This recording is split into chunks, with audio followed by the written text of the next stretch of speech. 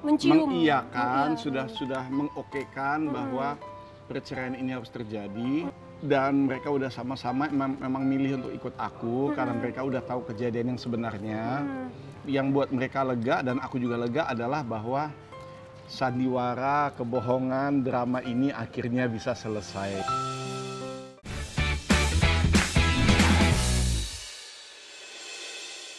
Putusan. Yes. Tapi eh, anak-anak sendiri Kenzo sama Marco menghadapi perpisahan orang tuanya mereka seperti apa? Fine-fine aja. Mm-mm. eh nggak terlalu banyak perubahan juga Hmm. bagi mereka karena aku juga selalu nanya sama mereka bagaimana kalian eh, oke nggak Hmm. Eh, apalagi pas kemarin putusannya udah keluar Iya. ya kan kalian udah denger belum oh udah terus gimana perasaannya gimana udah udah fix gitu kan Hmm. hak asuh anak ada di Dedi ya nggak apa-apa Em, memang dari awal juga maunya begitu Anak-anak sebenarnya lega dengan keputusan orang tua mereka untuk berpisah karena Gini, mungkin prosesnya sudah panjang selama ini gitu. Eh, mereka bukan lega kita berpisah Mm-mm.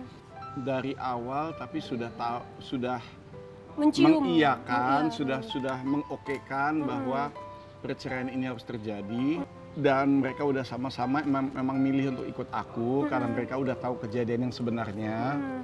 Yang buat mereka lega dan aku juga lega adalah bahwa sandiwara, kebohongan, drama ini akhirnya bisa selesai.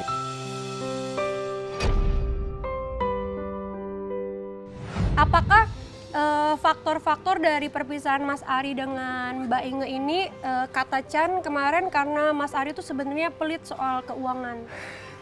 Aku bekerja semua yang aku hasilkan pasti untuk keluarga, ya kan?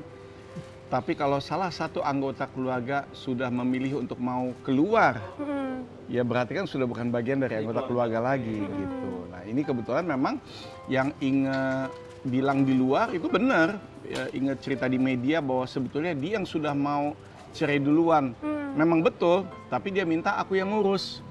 Nah di mana-mana yang mengurus itu Yang kan yang duluan. keluar uang. Mm. Di mana-mana yang mengurus itu yang menggugat. Nggak mungkin yang mengurus perceraian adalah, tapi saya sebagai yang tergugat ya nggak mungkin. Nggak ada itu dalam sejarah gitu.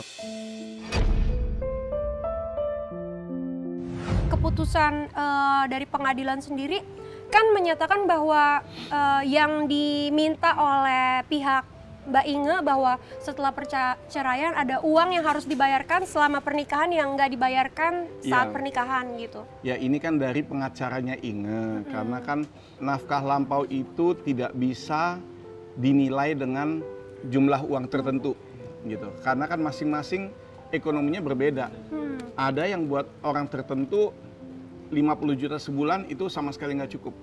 Iya benar. Ada yang 3 juta sebulan Cukup. itu udah gaji bulanannya Iya. dan bisa menghidupi satu keluarga. Jadi nggak ada tuh yang namanya satu nilai yang Jadi harus dipatok ukur ya. gitu ya menjadi tolok ukur itu nggak ada. Tapi yang kedua akhirnya tidak Iya kan? direstui oleh hakim, ya kan eh, permintaan dari pihak sana karena tidak terbukti bahwa itu benar.